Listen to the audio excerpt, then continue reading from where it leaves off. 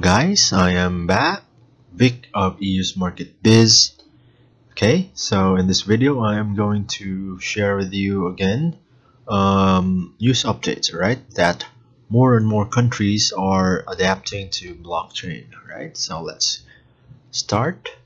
Okay, so we got this news update at Preferred Currency News or PCN.today. Okay, so if you are bored and if you are tired and if you would like to read the latest articles on cryptocurrencies, then this is the right website for you. Okay, so it's called pcn.today. Okay, so here is, as you can see, so many articles that you can read to. Alright, okay, so let's go to the main update here it is. So Korean government pilots blockchain for logistics innovation in country's largest port. Okay. So two South Korean government ministries have launched a blockchain pilot for port logistics innovation. So according to a press release from the country's Ministry of Science ICT and Future Planning or MSIT published December 18. MSIT together with the Ministry of Oceans and Fisheries are reportedly testing whether the technology can make Korea's container shipping industry more efficient. As the press release outlines, the pilot will run over a period of one year in the port of Busan, the country's largest port and the fifth busiest container port worldwide. So the initiative aims to ascertain whether leveraging blockchain technology can successfully increase transparency between all parties in the logistics industry, streamline administrative processes in import and export operations, and allow for real-time data sharing. So both ministries have reportedly been collaborating on the project as of early this year as part of a blockchain technology development strategy. It's officially announced by MSIT this June. Okay, so as reported, other core pilots and the strategy are planning across are, are planned across the fields of real estate, online voting, livestock record management, customs clearance, and international e-document distribution. The strategy overall aims to raise 230 billion won about $204 million by 2022. If the shipping logistics blockchain pilot at Busan will prove successful, both ministries plan to expand the initiative across other ports nationwide. As reported in June, South Korea has this year announced a partnership with the United States State Department to strengthen the two countries' cooperation in advancing the so-called Fourth Industrial Revolution. Okay, so let's read further. And let's wait for it. Okay, so it is.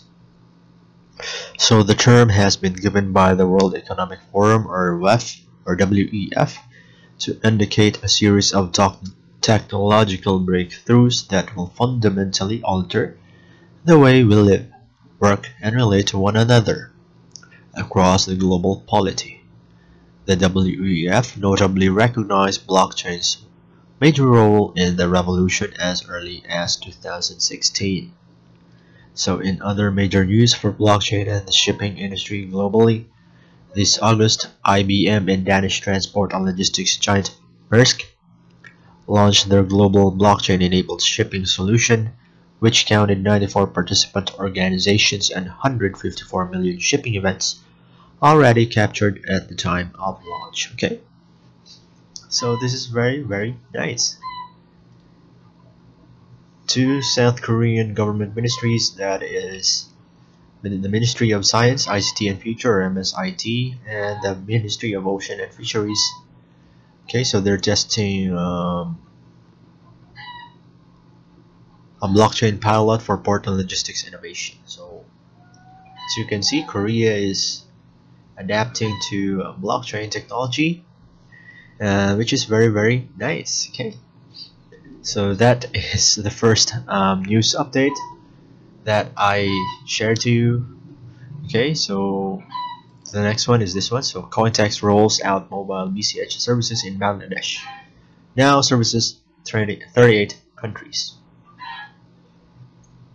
Okay so Cointext has launched internet-free mobile BCH wallet services to users in Bangladesh the announcement comes following the recent rollout of Cointext services in many new regions, bringing the total number of countries now, able to access the company's services to 38. Okay? So Cointext launches BCH services in Bangladesh.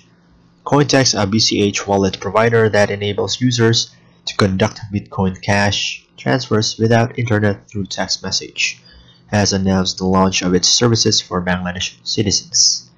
A press release published by Cointext cites GSMA's findings that Bangladesh had only 21% mobile phone penetration and a meager smartphone penetration of just 5.4% at the end of 2017.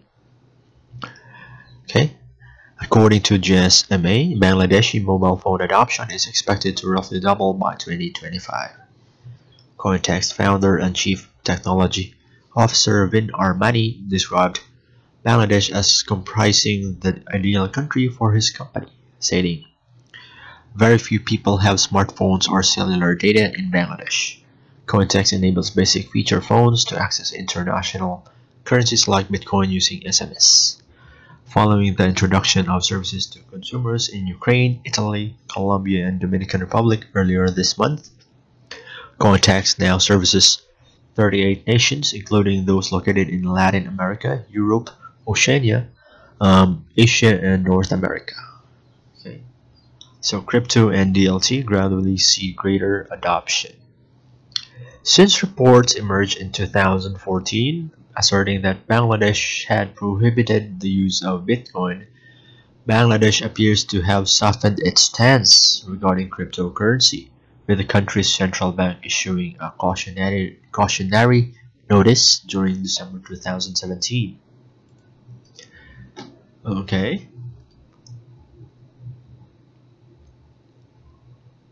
Okay, so let's wait for it to load. Here it is.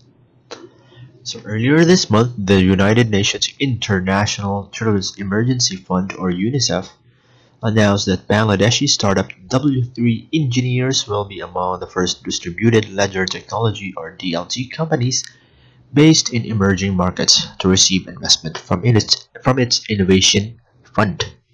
So W3 Engineers is one of six emerging DLT companies that UNICEF has announced will each receive 100,000 in funding. According to data recently published by Mineable, Bangladesh is among the cheapest countries in which to mine cryptocurrency, with a single BTC estimated to cost 2,379 to mine. Hmm? Okay, so those were the two main updates as you can see which are very very um, nice and guys if you want to read further then please visit pcn.today and of course please also don't forget I mean keep in mind that you will receive a newsletter if you subscribe at this website which is called preferredcurrency.news okay? So preferredcurrency.news for $15 a month or $180 a year. So which is very very nice and very very great deal for only 50 cents a day $15 $15 a month or $180 a year. So guys if I were you please check this one. Uh, okay. And if you are I mean if you have problems or if you want to ask questions please contact contact. Numbers here listed. Alright. So I think that's it. And guys uh, before I go I just want to say that I am not a financial advisor. And everything I say here is not a recommendation for you to buy and sell cryptocurrency. You must always do your own research before deciding for yourself. Okay, once again, I am not a financial advisor. I am not I am not saying predictions here. This is just my opinion. So you must always do your own research and you are the one handling yourself. Okay? So I think that's it. So guys, um if you like this video, please uh press the like button and also please subscribe at my channel and press the notification bell so I think that's it and I see you on the next video. See you tomorrow rather. Bye bye